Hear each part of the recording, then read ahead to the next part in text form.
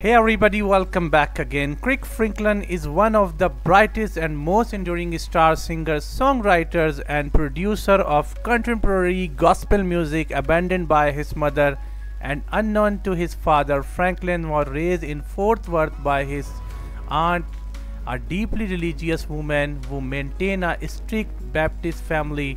In over tonight to Franklin founded family, a 17 members choir comprised of friends and associated from his younger days this week Kirk Franklin underwent thumb surgery and he provided videos from both to pre and post-surgical periods. The gospel musician announced on Instagram that he will soon have a 30-minute treatment on his thumb while wearing his hospital robe but he avoided going into the specification. He looked to his wife Tammy who was present for comfort, the marriage has survived for over 25 years because it is a based on the beliefs Kirk remote in the video. So I'm here for a small abrasion on my thumb. Soon later the nurse came to get him by note king of the door.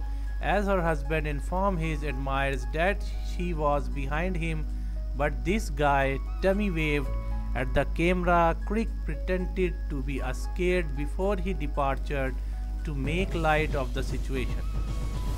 Kirk may be seen leaving the hospital in a wheelchair in a second video that his wife recorded following his operation. He was wearing a mouse of hooded jacket and jeans. He had his left hand concealed as her husband is carried out.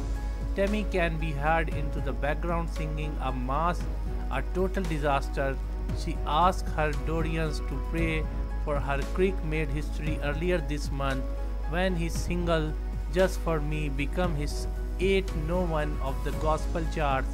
The feat exceeds the abbreviates records held by Tamela Mann and James Fortune and Thea who each has 6 no one singles after learning of his achievement. Character will be awarded. Wow, I'm very honored by this. It really means a lot to me that so many people continue to support my music and the God would even lend me some of his melodies that people continue to find solace in without doubt.